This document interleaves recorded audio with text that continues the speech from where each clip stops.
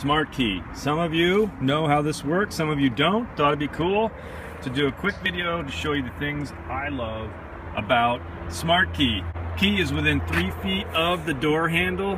I reach in and it unlocks and I open the door.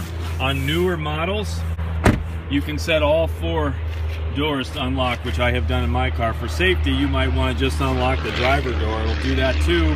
When you unlock the car, simple just touch that little sensor right there and it locks the car. Of course, the keys cannot be locked inside the car. The car will sense that the key is there and it will not lock if you try and lock it.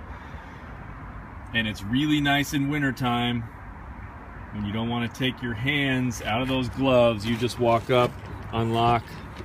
It's probably the second best thing to remote start. Come and see me today, everybody. This is Johnny T at Smart Motors of Madison.